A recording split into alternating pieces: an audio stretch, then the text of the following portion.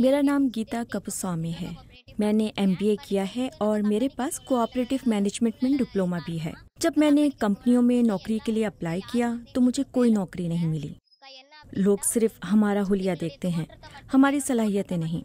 वो मुझसे जान छुड़ाने के लिए कहते कि आपको कॉल करेंगे।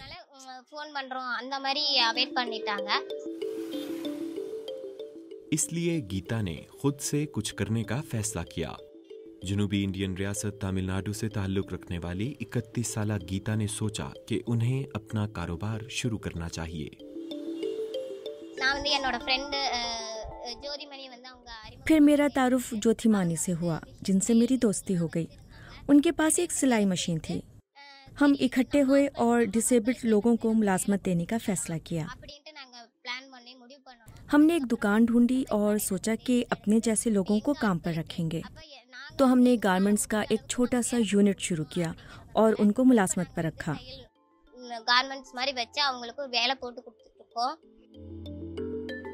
ऐश्वरी गीता की टीम में तीन महीने पहले शामिल हुई நான் வந்து தவழ்ந்து செல்லும் மாற்றுத்திறன் मैं डिसेबल्ड हूँ और सिर्फ घुटनों पर चल सकती हूँ मेरे शोहर भी डिसेबल्ड हैं हम रोजगार के बगैर मुश्किल में थे हम जहाँ भी नौकरी की तलाश में गए, हमें ये कहकर नौकरी नहीं दी गई कि आप डिसेबल्ड हैं। आप वक्त पर काम पर नहीं आ सकती क्योंकि आप सही तरह से चल नहीं सकती। फिर गीता ने मुझे बताया कि उन्होंने एक गारमेंट्स यूनिट शुरू किया है और डिसेबल्ड लोगों को मुलाजमत पर रख रहे हैं। गीता का कहना है कि डिसेबिलिटी कामयाबी की राह में रुकावट नहीं बननी चाहिए और वो सबको एक ही पैगाम देना चाहती हैं। मैं डिसेबल्ड हूँ और मेरा एक बड़ा ख्वाब है। किसी डिसेबल्ड शख्स को रिजेक्ट नहीं किया जाना चाहिए। जैसे मुझे काम की जगहों ने रिजेक्ट कर दिया था। लिहाजा जितना हमसे हो सके हम रिजेक्टेड डिसेबल्ड लोगों को मुलाजमत दे रहे हैं।